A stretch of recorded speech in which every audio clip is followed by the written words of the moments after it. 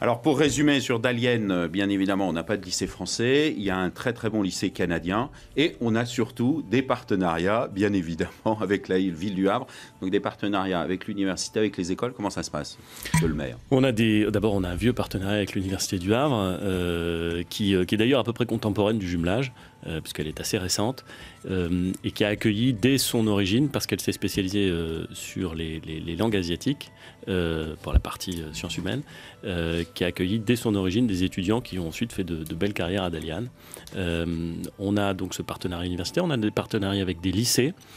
Euh, on a des stagiaires du Havre qui, euh, euh, sachant qu'il existe une relation facile avec l'administration d'Aliane, l'utilisent pour obtenir les visas qui vont bien et, les stages qui peuvent les intéresser.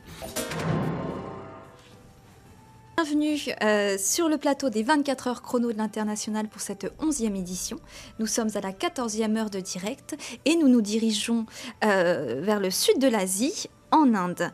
Alors deuxième pays le plus peuplé, septième plus grand au monde, l'Inde représente un marché de plus de 1,3 milliard d'habitants.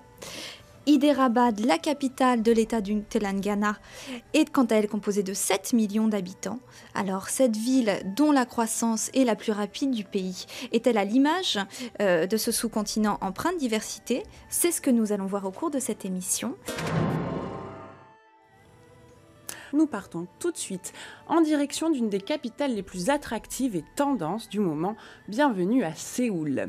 Capitale de la Corée du Sud, cette mégalopole de plus de 25 millions d'habitants fait partie des agglomérations les plus peuplées au monde. Nous partons à Téhéran, la capitale de l'Iran. Cette ville immense, située au pied des montagnes, compte plus de 15 millions d'habitants, dans un pays qui reste un acteur clé au Moyen-Orient. Aujourd'hui, des signes de changement sont visibles en Iran, notamment avec une ouverture économique.